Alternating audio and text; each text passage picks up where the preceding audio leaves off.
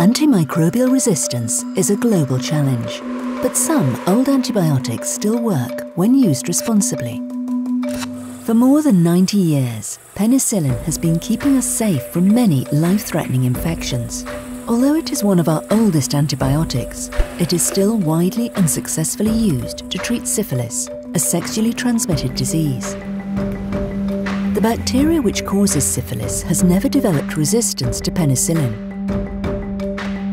Syphilis is especially dangerous in pregnancy, as the infection can lead to miscarriage, stillbirth, prematurity, low birth weight, serious problems for the infected baby, or neonatal death. Quality assured benzathine benzyl penicillin, a long acting variant of penicillin, remains the safest and most effective antibiotic for pregnant mothers to use. Unlike other drugs, penicillin treats the unborn baby too, and the bacteria are completely killed off when exposed to the drug. Serious negative effects from penicillin are extremely rare.